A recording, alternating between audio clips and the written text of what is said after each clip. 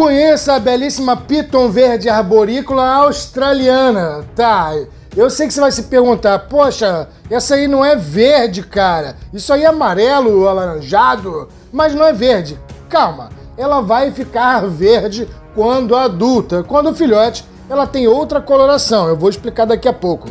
A piton verde arborícola australiana, não ocorre só na Austrália, é conhecida pelo nome científico de Moreleia viridis e é uma espécie de piton, ou seja, não é peçonhenta, tem dentição áglifa e pode ser encontrada na Nova Guiné, em várias ilhas da Indonésia, na península do Cabo York, na Austrália. É exclusivamente arborícola e com uma cor verde distinta quando adulta. Atualmente, nenhuma subespécie desse animal é identificada. O tamanho dela, quando adulto, chega aí a 90 ou 1,20m, 90 centímetros a 1,20m de comprimento e pode atingir ali cerca de até 2 metros, mas em casos um pouco extremos. E consome pequenos mamíferos. É, ela adora animais de sangue quente, tais como roedores e também aves, mas pode comer répteis. Bom, eu sei que você deve estar se perguntando, peraí, peraí, aqui, peraí, peraí. Você acabou de colocar um vídeo falando da periquitamboia, que é a nossa esmeralda arborícola, que é igualzinho a esse bicho aí.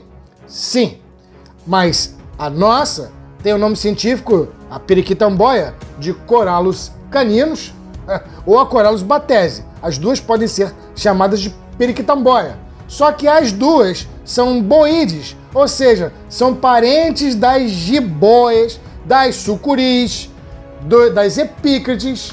É, meu irmão. E não são pitons. E elas colocam o filhotinho nascinteirinho. Ah, mas a piton não. A piton coloca ovos. Então a Moreleia viridis, que é essa do vídeo agora, que apesar de ser muito parecida com a nossa periquitamboia, não é uma boide, é uma pitonide, é uma espécie de piton e coloca ovos. Isso é uma convergência evolutiva. Eu vou explicar melhor daqui a pouco, porque realmente elas são muito parecidas. A piton verde arborícola coloca de 10 a 25 ovos. E os recém-nascidos são normalmente cor de limão, com as risquinhas irregulares, com manchas púrpuras meio acastanhado, embora alguns indivíduos um pouco dourados e cor de laranja possam surgir, surgir em algumas ninhadas. Conforme ela vai crescendo, ela vai ficando mais esverdeada.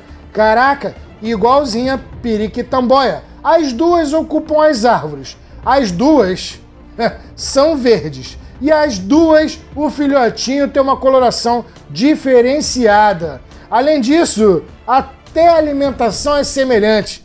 Chama-se convergência evolutiva. As duas de fato são muito parecidas, mas olha a piton verde australiana. Quer dizer, vou chamar de piton verde. Olha a foceta desse animal. A foceta supralabial, que é aquela que tem em cima, ela não é completona, ela não fecha toda, ó. ela não é fechadinha. Já a foceta supralabial da periquitamboia, da nossa, verde esmeralda, ela fecha todinha. A foceta é completa. Ó. Isso é uma das maneiras de ver uma foto e distinguir as duas. Não, tem mais coisas. Espera aí.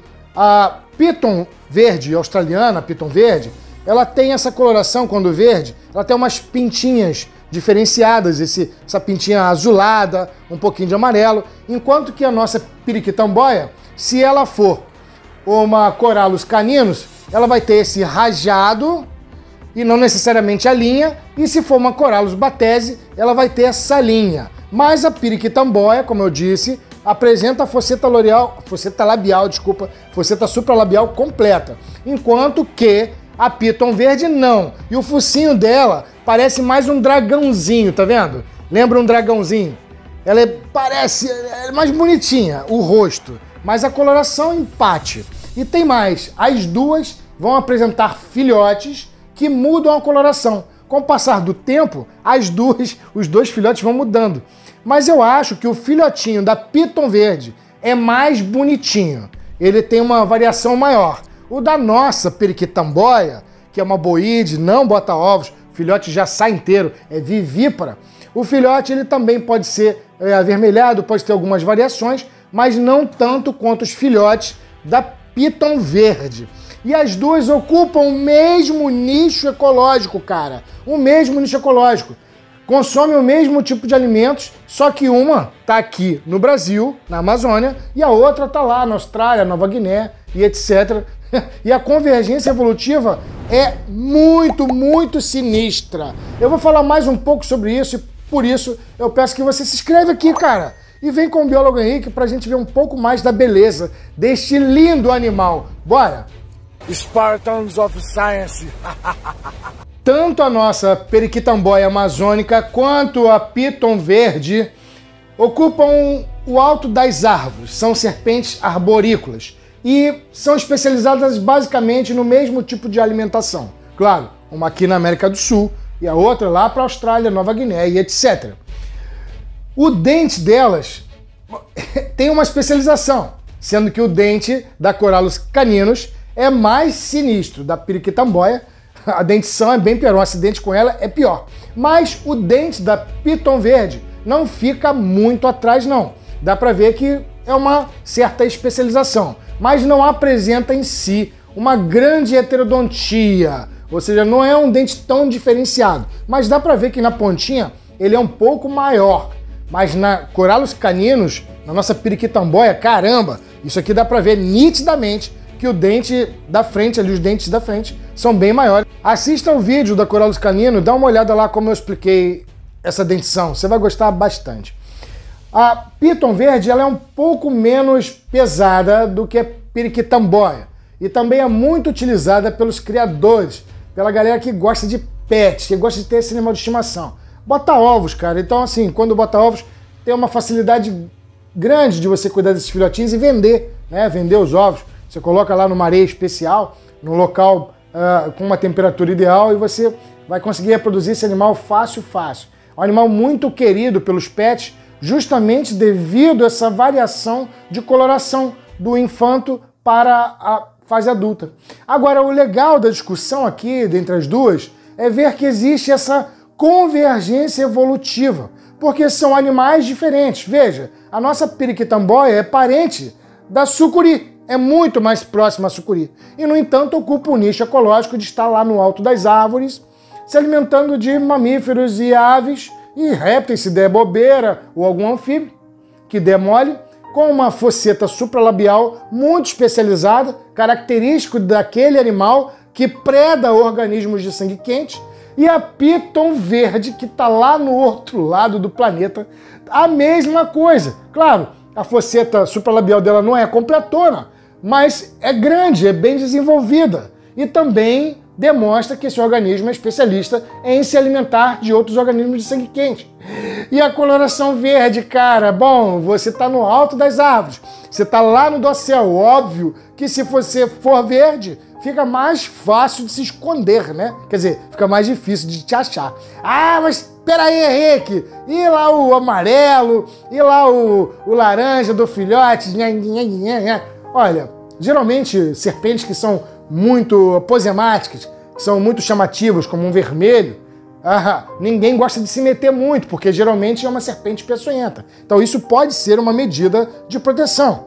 Além disso, ah, essa convergência para se tornar dois organismos verdes e ter uma variação ontogenética, ou seja, quando o filhote de uma cor amarelada, laranja, limão, para se tornar verde depois, bom, isso, possa, isso pode estar atrelado ao pigmento, que é semelhante, para que ele se torne verde depois. E houve essa conversão, cara. Elas são muito parecidas. É só um especialista mesmo para dizer qual é qual. Quer dizer, agora você também é especialista. Não, você seria capaz de dizer aqui nessa foto qual é qual? Qual dessas é a piton verde e qual dessas é a corallus caninos? Fala para mim aqui, escreve aqui embaixo. Eu queria saber também a sua opinião, qual das duas é mais bonita? Ou se é um empate. O que, que você acha? Uma ou outra? Ah, mas é muito interessante entender que as duas ocupam o mesmo nicho ecológico, sendo serpentes diferentes e convergiram para a mesma adaptação. Sinistríssimas e lindas demais. Então, com vocês, eu fecho o vídeo aqui da Piton Verde, Moreleia viridis. que balbúrdia, cara! Esse animal é bonito pra caraca, meu irmão! Fala a verdade!